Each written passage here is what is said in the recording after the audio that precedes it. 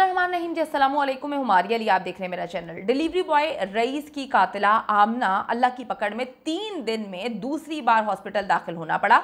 आमना baric में मुसलसल उल्टियाँ कर रही है, उसको उल्टियाँ लगी हुई हैं। कैदी खवातीन आमना से शदीद तंग हैं। तुम्हें जमानत किसी सूरत नहीं मिलेगी। फरहान के वकील की जेल में उससे मुलाकात, फरहान चीखे मारने लगा। तुम्हारी बीवी ने तुम्हें बुरी तरह से फंसा दिया है। फरहान का जो भाई है, उसकी भी सीसीटीवी कैमरे में जो है वो फुटेजेस सामने आ गई हैं, वो नज़र आ गया है। पुलिस अब उसकी गिरफ्तारी के लिए छापे मार रही है, लेकिन ऐसा लग रहा है कि वो कहीं दूर फरार हो गया है। एक महीने बाद आमना को बच्चों की अचानक से याद सताना शुरू हो गई रईस की फैमिली से सुलह की कोशिशें क्या की जा रही हैं? क्या पैसा लगाने की कोशिश की जा रही है? क्योंकि जब तक ये हवालात में बंद थे, पुलिस को पैसा दिए जा रहे थे, उनको लग रहा था कि हम यहीं से बेल होकर हमारी, हम घर चले जाएँगे। हमें जेल में नहीं शिफ्ट करना पड़ेगा। लेकिन ऐसा नहीं हुआ। इस वक्त जी बार बार जो है आमना की तबीयत ख़राब हो रही है, उल्टियाँ कर रही है हॉस्पिटल एडमिट हो रही है, आमना की फैमिली जो है, वो जाकर जेल के बाहर बैठी हुई है कि जी हमारी बेटी की तबीयत ख़राब है। इसको हर हाल में जो है हॉस्पिटल शिफ्ट कर दिया जाए, क्योंकि आमना साहिबा द क्विन आमना को जेल का माहौल रास नहीं आ रहा। वो बहुत साफ़ सुथरी इंसान है उनको इंसानों से कराहत होती है, लेकिन आज जब वो अपनी असल जगह पर पहुँची हुई है तो इनको उस जगह से कराहत हो रही है। आज की वीडियो में आमना साहिबा का जेल में जो इस वक्त हाल है, उस पर उसका खुलासा करेंगे। आपने वीडियो को आखिर तक देखना है। आ, मुझे हँसी इस वजह से आ रही है कि यार जो हम बोते हैं वो हमें काटना तो पड़ता है और जब काटने की बारी आती है तो हमारी हवा निकल जाती है। आपसे रिक्वेस्ट है अगर अभी तक आपने मेरे चैनल को सब्सक्राइब नहीं किया कर दीजिएगा। हमारी इससे हौसला अफजाई होती है।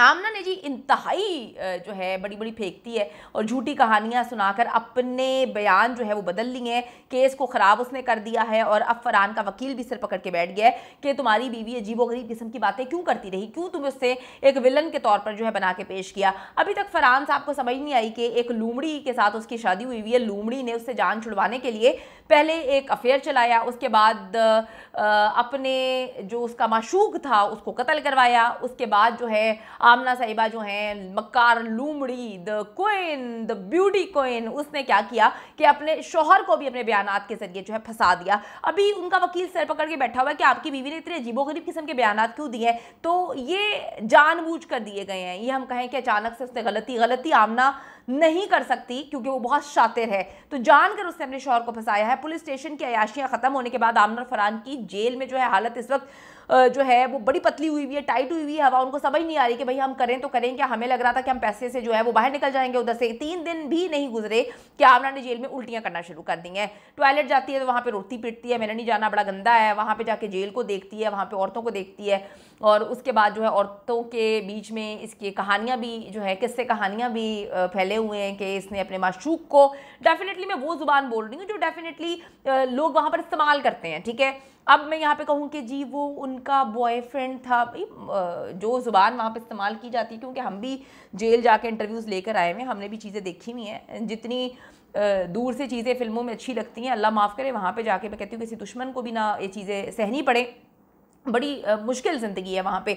तो वहाँ पर जी कहा जा रहा है कि इसने अपने माशूक को कत्ल करवा दिया, अपने शोहर के साथ मिलकर इसने कत्ल किया तो ये बेचारी बड़ी वहाँ पर ना परेशान हुई, इसको समझ नहीं आ रहा कि क्या हो पहले बेहोश हो गई बेहोश होकर हॉस्पिटल पहुँच गई, लेकिन हॉस्पिटल वालों ने दो घंटे बाद ही ड्रिप ड्रिप लगा के जो है इसको भेज दिया। अब आमना के घर वाले झूठी बीमारियाँ लेके कि जी इसको दुनिया जहाँ की बीमारियाँ हैं, वही बीमारियाँ जो नवाज़ शरीफ साहब को थी, वही बीमारियों का जो जो है ना, वो मेडिकल लेकर पूरी, मेरे ख्याल में नवाज़ शरीफ साहब की मेडिकल रिपोर्ट जो है ना, लेकर ये पहुँच गए हैं। वहाँ पर जाके कह रहे हैं कि इसका हर चीज़ फेल हुई हुई है, इसकी आँखें भी काम नहीं करती, इसके गुर्दे भी फेल है, इसके फेफड़े, इसके प्लेटलेट्स हर चीज़ जो बीमारी जो नवाज़ शरीफ साहब को थी, वो इन्होंने, मेरे ख्याल में किसी फ़ोटो कॉपी करवाई और जाके वहाँ पे बैठ गए कि हमारी बेटी को जो है आप सिर्फ़ हॉस्पिटल एडमिट करवा दें हॉस्पिटल मुंतकिल कर दें, पैसा भी चलाने की कोशिश करें लेकिन आमना के ड्रामे जो हैं, अब काम नहीं कर रहे। ड्रामे जो है, अब खातन है वहाँ पर, उनके सामने क्या ड्रामे काम करें?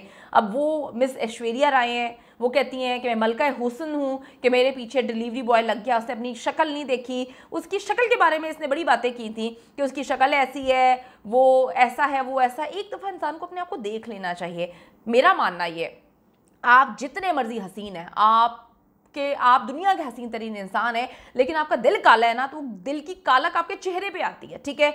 आप दुनिया के बदसूरत तरीन इंसान भी अल्लाह ताला ने बनाया हर एक इंसान को, लेकिन अगर हम इस माशरे के हिसाब से बात करें, अगर कोई इंसान दुनिया का बदसूरत तरीन इंसान भी है, उसका दिल खूबसूरत है, उसके दिल की खूबसूरती उसके चेहरे पर आएगी और वो दुनिया का हसीन तरीन इंसान बन जाएगा, ठीक है? ये दिल की बात होती काले दिल वाले जितने मर्ज़ी हसीन हो, लोगों को इस तरह से जला के मारते हैं ना, फिर ये बात करते हैं कि हम इंसान हैं, हम औरत हैं, हम बेचारी हैं, हम किसी की माँ जब तुम अपने घर में गैर मर्द को अपनी बेटी के सामने बुला के गंद घोल रही थी ना, उस टाइम भी तुम्हारे तीन अदद बच्चे थे। तुमने उसका ख्याल नहीं किया तो अब ड्रामेबाजियाँ करना छोड़ दो। आमना बैरिक में जो है, वो चीखें मारती है कि मुझे बच्चों के पास जाना है, मुझे वहाँ पे जाना है, मैंने यहाँ पे नहीं रहना। ये वही औरत है जिसने रईस के सामने अपनी हकीकत खुलने पर कि इसने कहा था रईस को कि मेरी शादी नहीं हुई है, मेरा बाप बाहर होता है, हम लोग शादी करेंगे सेटल हो जाएँगे। जब इसकी हकीकत खुली थी तो इसने वादा किया था कि वो शोहर और बच्चों को छोड़ देगी।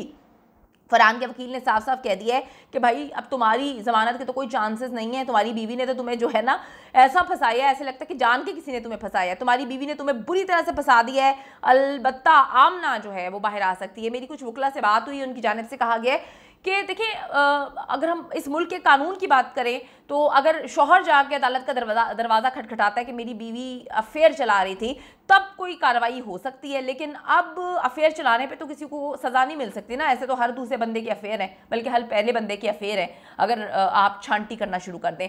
दूसरी बात यह कि बड़ी शत लूमड़ी है, यकीन करें। मैं कहती हूँ, जिसको भी आमना से सिंपत्ति है ना, मैं, मुझे सिर्फ़ एक चीज़ लगती है कि वो आमना जैसा ही है। लोग कहते हैं, जी, वो मुलजिम है। मैं एक्सेप्ट करती हूँ, वो मुलजिम है, मुजरिम नहीं है but she was having affair she did so horrible crime ठीक है? मैं उसकी माँ से बात करती हूँ ना, रईस की, यकीन करें, मुझे रात को नींद नहीं आती। मैं सो नहीं पाती। जब मैं उसका मेडिकल उसकी जो इब्तदाई मेडिकल रिपोर्ट पढ़ती हूँ, मुझे नींद नहीं आती। मैं सिर्फ़ इस तस्वुर में, मेरा कल उंगली मेरी जल गई थी खाना बनाते हुए, ठीक है? वो दर्द मुझे तकरीबन दो घंटे महसूस होता रहा थोड़ी सी जली होगी ना, कितनी सी सिर्फ़ एक टच टच हुआ होता है। कभी ये करके देखिएगा। जो लोग कहते हैं ना कि रईस के साथ अच्छा हुआ मकाफात अमल, वो मकाफात अमल अपने लिए भी थोड़ा सा सोचने के क्या होगा, आपने क्या क्या गुनाह किए हैं, अल्लाह ताला ने पर्दापोशी की हुई है। एक ज़रा सी उंगली टच होने पर मुझे दो घंटे दर्द होता रहा, उसकी बॉडी 90 टू 95 परसेंट जली है। जो दर्द, अजियत उसने वहाँ पर महसूस की होगी, यकीन करने रूह काम जाती है, लेकिन इसके लिए आपका इंसान होना ज़रूरी है। तो जो जो इंसान है वो उस तकलीफ़ को समझ सकते हैं। आँख फोड़ दी नाजुक अज्जा उसको प्लास से खींचा। मतलब ये मज़ाक नहीं है, ठीक है? बार बार आपको बताने का मकसद है कि इंसानियत जगाएँ अपने अंदर। किसी को राइट नहीं है कोई कितना बड़ा क्रिमिनल भी क्यों ना हो, उसको इस तरह से कौन मारने का राइट किस मुल्क में दिया जाता है, किस माशरे में दिया जाता है? फरहान का वकील कह चुका है तुम्हारी बीवी की जमानत होगी। यही उसकी बीवी को पता था वो चाहती भी यही थी। इसके बाद रईस की फैमिली से इनडायरेक्ट रबते जो है इन्होंने करने की कोशिश की है। मोटी रकम पैसा तो इनके पास है कोई कमी नहीं है। वो भी out of the court settlement के लिए वकील ने इनको समझाया। आप देखें क्या करते हैं। वो कहते जी हमारे बच्चे जेल नहीं हाँ, काटना चाहते हमारे बच्चों को जेल से निकालें। तुम्हारे बच्चे जेल नहीं काटना चाहते। किसी के बच्चे को तुमने ज़िंदा जला दिया मतलब आपने कहीं पर सुना है किसी माशरे में किसी मुल्क में सुना है आपने कि एक इंसान को ज़िंदा जला दिया जाए? ठीक है, अल्लाह ताला की पकड़ शुरू हो चुकी है इन दरिंदों पर। डिलीवरी बॉय रईस के कातिल अब जेल में तड़प रहे हैं, रो रहे हैं, पिट रहे हैं। फरहान पुलिस स्टेशन तक तो झूठ बोलता रहा जैसे जैसे जो है उसको लगा के निकल जाएगा। लेकिन अब उसकी चीखें निकल रही हैं, अब उसकी हवा निकल गई है। दूसरी तरफ़ आमना के ड्रामे जेल में जा रही हैं, ड्रामे कर रही है, दीवारों से टकरे मार रही है, उल्टियाँ कर रही है, लोग उसको, लोगों के सामने जो है ना, ड्रामे इसने फुल ऑन किए हुए हैं, मेरे बच्चे मेरे बच्चे। अब जेल के अंदर भी इनकी सफाकियत जो है, जो उन्होंने कत्ल किया है, सबको पता चल गया तो उनको ताने मार रहे हैं, लोग पकड़ के इनको, जो है ना, कह रहे हैं कि इनको उल्टा लटकाओ। तो अब मीडिया के सामने तो ये झूठा नेरेटिव पेश कर रहे हैं, अंदर क्या कहानियाँ सुनाएँगे? अंदर तो बड़े मुजरिम होते हैं, अंदर आधी मुजरिम मौजूद होते हैं। वह आमना की तबीयत जो है, वो अच्छी तरह से साफ़ हो रही है तो आमना की हवा निकल रही है। आमना की फैमिली ने आमना के लिए जमानत की कोशिशें तेज़ कर दी है, क्योंकि उन्होंने बताया आमना को जमानत मिल सकती है। हो सकता है जल्द मिल भी जाए, लेकिन उसके शोहर फराम को नहीं मिलेगी। अब मैं आपको ये बात भी बताती चलूँ कि अभी तक सिर्फ़ आमना की गाड़ी में मौजूदगी की इतला है, ये साबित नहीं हो रहा कि उसने उसका जो है वो कत्ल किया है। आमना इसका फ़ायदा उठा के ज़मानत जो है वो ले सकती है, औरतों मजलूम हूँ तीन बच्चे हैं बच्चे रो रहे हैं बच्चों को मेरी ज़रूरत है ब्ला ब्ला करके। अच्छा दूसरी तरफ़ मैं आपको ये भी बताती चलूँ कि फ़रहान का जो मोहल्ले में आ, एक सीसीटीवी कैमरा कुछ फुटेजेस हासिल की गई हैं। तेईस की रात को जो फरहान का भाई है उसकी भी घर में मौजूदगी साबित हो चुकी है और अब पुलिस उसकी गिरफ्तारी के लिए भी कोशिश करी। पहले पुलिस कर लेती गिरफ्तारी इसको ना छोड़ती और ये सारे सबूत हासिल कर लेती। तो आज उस दरिंदे को भी जो है बेल ना मिलती।